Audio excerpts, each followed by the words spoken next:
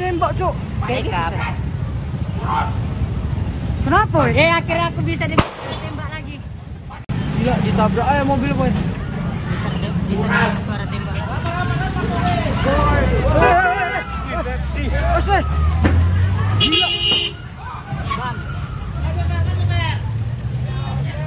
Jadi.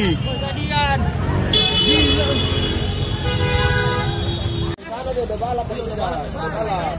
Baliknya juga. Langsung dia pikir bisa lurus ini. Kenapa? Masuk kemari main seorang aja.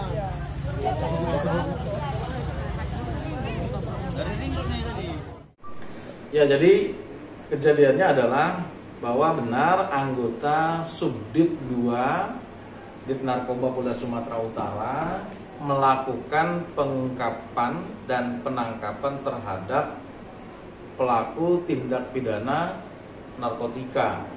Adapun kronologis awal kejadian sampai dengan munculnya eh, anggota mengeluarkan tembakan peringatan adalah karena pada saat dilakukan penangkapan terhadap kendaraan yang digunakan oleh pelaku, dia melarikan diri.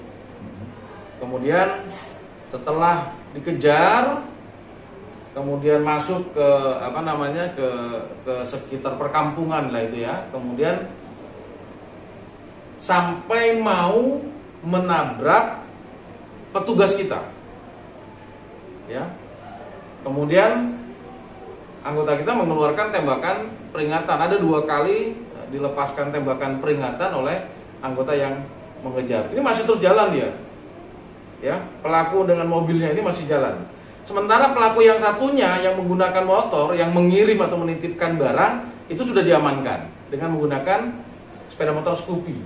Di dalam mobil itu ada isinya istri dan anaknya pelaku yang berusia 4 tahun.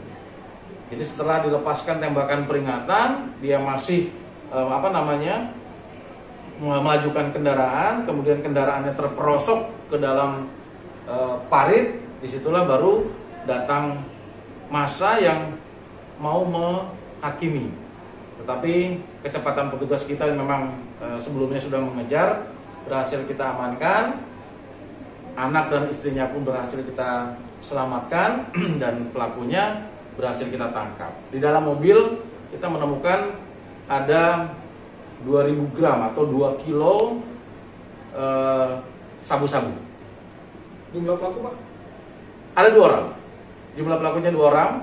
Yang pertama yang menitipkan, kemudian yang kedua si E ini yang menerima barang tersebut. Rencananya barang itu mau dibawa ke mana pak? Diedarkan di Medan. pelaku kan membawa istri dan anaknya apakah Ya. ini modus baru Ya, jadi eh, berdasarkan informasi yang kita terima dari teman-teman narkoba yang memang sering melakukan penindakan-penindakan seperti ini, beberapa kali penindakan pelaku-pelaku ini sering melibatkan anak-anak kecil, bahkan istrinya atau anaknya sendiri yang eh, dilibatkan, naik motor lah, membawa mobil.